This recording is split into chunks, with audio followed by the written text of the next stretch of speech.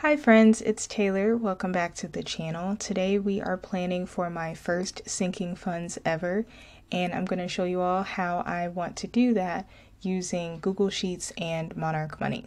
We're going to start here in Google Sheets and this is my yearly goals template which is fairly simple and we will go over it now. So I do want to say that I have only put four columns here because I wanted to have the four alternating colors which are present in my other templates. And if you all want to use this for years after 2027, then you would just copy and paste all of the columns to the right of this document and that should reduce the amount of work that you have to do. So we have this overview section here and then all of the years over here. And down here, I have my goals, which are broken up into each quarter.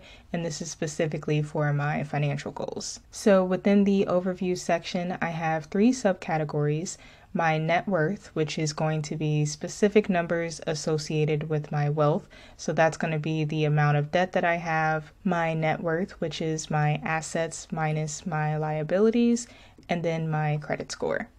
Then I have investments. I currently only have two different types, which is my brokerage, that's my Acorns, and my 401k, which is on pause, but it resumes in February, so I'm excited for that. And then we have my sinking funds, which is going to be the focus of this video. And I have my categories here and then the total amount that I can save per month. So this cell here is going to be used as the baseline for calculating all of my contributions and then whatever is left is what I'm going to be using to apply to my debt. So under each year I have three different columns. The start column is going to be whatever number I'm starting with at the beginning of the year. I will update these numbers on January 1st, but I'm using my numbers as of today so that we have some numbers to work with. Then I have the goal column, which is whatever number I want to achieve by the end of that year based on my starting point. So, for example, my emergency fund is at $1,000 right now, and I want to get to 2200 in my emergency fund.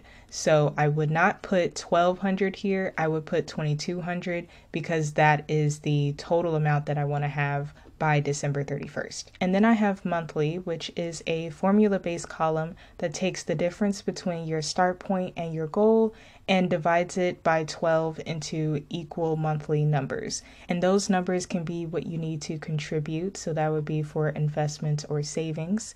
It could be something you need to pay, i.e., my debt, or it could be progress. So for my net worth, I need to increase my net worth by a little over a thousand dollars if I want to reach this goal by the end of the year. Now, some of you may notice that my debt has increased by a lot, and that is something I will explain when I do my financial plan with me for 2024. There's really nothing else to say right now. I will talk about it in the next video. As for my goals down here, these three are the ones that I am actively working towards in the month. So I actually have to save certain amounts and I need to make sure that I set up my 401k pre paycheck contributions. These other two are a little bit more passive because I'll already be taking the steps in order to pay down my debt and these are essentially mile markers that I'm using just to see what progress I am making in a quarter. And now let's get into what my sinking funds actually are. And these are listed in order, but if for whatever reason they weren't or I wanted to change them later, Monarch allows me to do that at any point in time, so I'm not too worried. So first we have my taxes and bill sinking fund, and this is specifically for any annual expense that has a specific time frame that it needs to come out of my sinking fund. I am a big fan of reducing the amount of work that I have to do to find certain expenses, so I like to use Monarch's bill calendar in order to make it easier for myself.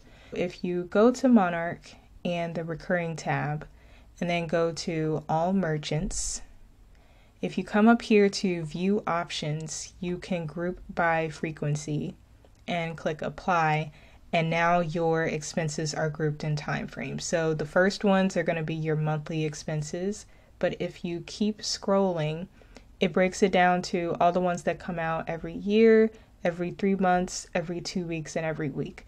Now, for the purposes of setting my goals, I only needed to focus on the ones that said every year and every three months.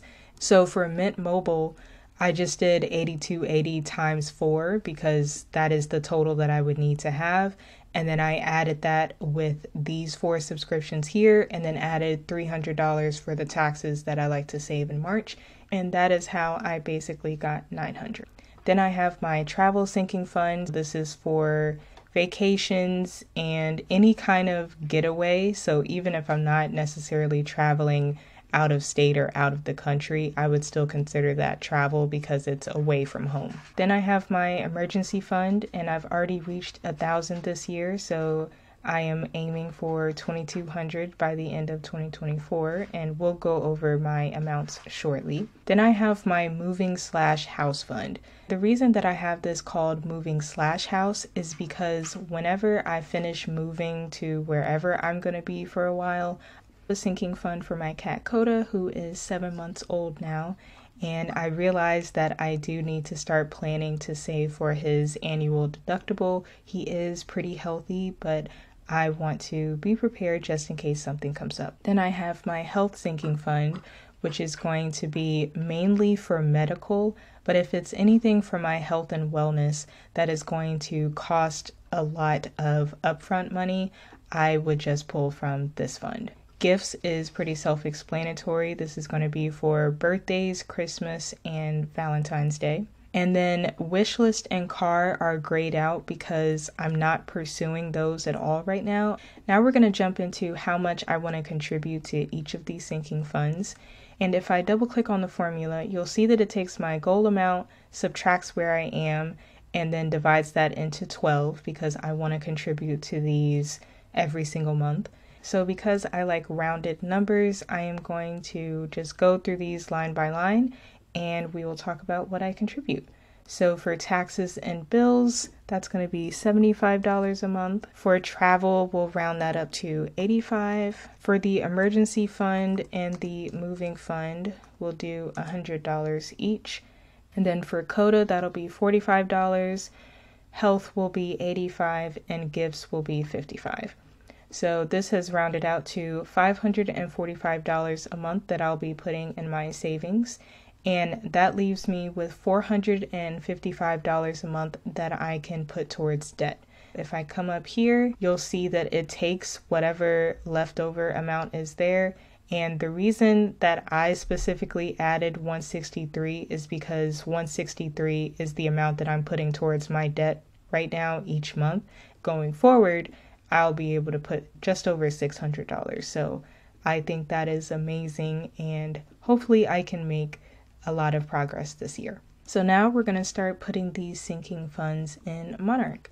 And the first thing we're going to do is head over to the goals page and you'll see that I've already added most of these. The only one that I didn't add is the health one and that is because I wanted to do that with you all from scratch so you can see how to do it. So we'll come up here to the top right and do add goals and you want to choose if it's a save up or a pay down type of goal. Save up is going to be for anything that has a positive number. This is going to be savings, investments, retirements, etc. For pay down, this is going to be anything with a negative balance. So this could be credit cards or student loans or a mortgage. In my case, because this is a health sinking fund, I am just going to select save up and all of these save up goals do the exact same thing, with the exception of the retirement because it allows you to add pre or post paycheck contributions. But everything else is the same. The only difference is the thumbnail image that you get when you select the image. So I'm going to click savings, and you can see here that you can add as many as you want at a time, but we just need to do one. Then we'll come down here and go to next. And here is where we are going to rename all of our goals and organize them in order of importance. So I have taxes and bills first, and then the travel sinking fund. I'm actually going to keep my emergency fund down here because I technically already met my $1,000 mark, and now all of my future payments to it are going to be kind of coasting on a monthly basis. And I also wanted to say that I do have two different icons going on here. So the purse icon means that it's something that I plan to spend from sooner rather than later. And then this sprout icon means it's money that I don't want to touch anytime in the near future. So let's finish organizing this. We have taxes and bills, travel, and then the moving fund. Coda is next, and then health would be after that, and then we have gifts. For my moving fund, I think I'm going to remove the amount the reason I had the amount here before is because it was something that I was aggressively pursuing, but my move has been put on hold, so I don't need to really see those numbers. And then for savings, actually, we're just gonna come here and copy and paste that, and we will rename this to health and save. Okay, I decided to go with this image for now, but I'll probably change it but we're gonna click save make sure all of these are in the right rank. This looks good to me so we're gonna hit next. And here is where we're gonna set our goal targets. So that would be based on my google sheet that would be these numbers in this column here and i'm just going to put those in the goals now. So for taxes and bills i'm to save $900 travel will be a thousand. The moving fund will be 3400 coda is 540 health is going to be 1020 and gifts is going to be 660 and then my emergency fund my investments and my retirement are all accurate so now we're going to hit next. We are going to skip adding the accounts to each sinking fund for now, but we are going to come back to that later. And I'm going to hit next. And then for the monthly savings goals, I'm going to go back to Google Sheets. That is going to be these amounts here. So for taxes and bills, that's going to be 75 a month travel will be 85 the moving fund will be 100 coda will be 45 health will be 85 and gifts will be 55 and i'm gonna also add $100 for the emergency fund but I'm not going to do anything for the invest or retirement goals because these are just placeholders for me and I am not trying to track my monthly contributions here in Monarch. So now I'm going to hit next, and this is specifically for my retirement account. If I want to add any pre paycheck contributions, I put 83 because that is what I plan to contribute in 2024. And then you press next, and now it's going to do its automations and now we have all seven of my sinking funds including the emergency fund here and we are good to go. Now we are going to assign the accounts. I first want to go to my accounts page and show you all that I only have these four bank accounts right now. My checking, emergency fund, moving fund, and sinking fund. You'll see that I only have one bank account for my sinking fund, and that is because I can allocate each dollar and cent within Monarch and know how much I have within each sinking fund instead of having multiple bank accounts that I then have to manage and manually transfer everything from. Just having one sinking fund account and then organizing the categories in Monarch was just the way to go for me. So we're going to head over to the goals page and now we are going to assign that one sinking fund to all of these accounts that say assign savings accounts. So I'm going to come up here to actions, go to edit accounts, and you'll see we have one, two, three, four, five different sinking funds that need to be linked to some kind of account so that we can track our progress. These other ones that have the outline buttons, these are already connected to my other goals. So my Acorns is connected to my investment goal, the emergency fund is connected to the emergency fund goal, so on and so forth. Let's start with the taxes and bills account. And I'm going to click add accounts and we're going to scroll down to where it says sinking fund. Now you'll see that the amount we're working with is pretty low, but I didn't feel like waiting a few more days until I got paid. I wanted to go ahead and do this video now but I think you all will still get the gist of how it works. So after I've selected the sinking fund, you'll see this checkbox here that says always use the entire account balance. We're going to uncheck this and now we can enter, aka allocate, a specific amount of this $1.26 that's here and assign it just to this taxes and bills sinking fund. So in my case, I'm gonna just put 26 cents to this for now and press done. And now we can press add accounts for travel because that's our next goal. Click add accounts, scroll down to the sinking fund, and you'll see that it says we have a dollar available. And when I select the sinking fund, it has this handy little message here that says we already assigned 26 cents for the taxes and bills. And this is where the magic happens because you don't have to worry about over assigning money in between different sinking funds. Monarch keeps track of that for you and does not allow you to assign more than you actually have. So let's say for which one is this? The travel. Let's put 25 cents here. There we go. And then I'm going to click done. The moving fund already has an account, so we're going to go to Coda click add account, scroll down to sinking fund, and you'll see it has already updated right here and said that there's 75 cents available. So I'm gonna click this again and now it has the combined amount saying that 51 cents has already been saved for the taxes and bills account and the travel account. I'm just going to do another 25 cents here and press done. And we're going to do the same thing for health. Scroll down, sinking fund, it says I have 50 cents available. We'll just do 25 cents again, click done. And then I think the gifts is the last one. Yep, scroll down, sinking fund, and it says we have 25 cents available for it. So I'm gonna leave that as is, and we'll see the remaining dollar and one cent has been assigned to my other goals. And now all of my goals are linked to a specific account and I can click done and you'll see that that $1.26 that we had has now been distributed the way that we wanted across the different sinking funds that we have here. So I absolutely love that I can manage this within Monarch.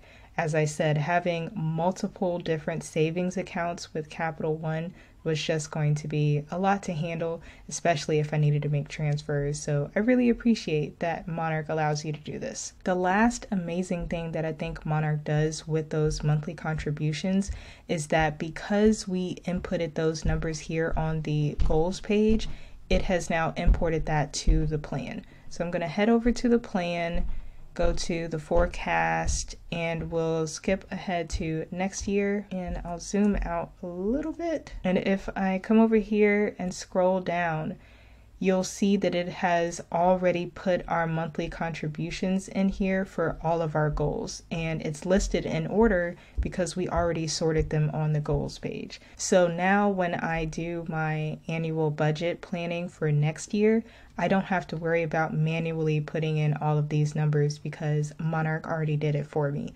Actually, I just realized it did not include Coda's line for some reason. I'll check that after the video. So that's it for today's video. I hope you all found the way that Monarch handles sinking funds and savings accounts to be really helpful as you're planning for next year's savings goals. As I said before, the link to the yearly goals template will be available in the description below, as well as a link to try Monarch for free for 30 days. Thanks again for watching. I hope you enjoyed it, and I'll see you in the next one. Much love.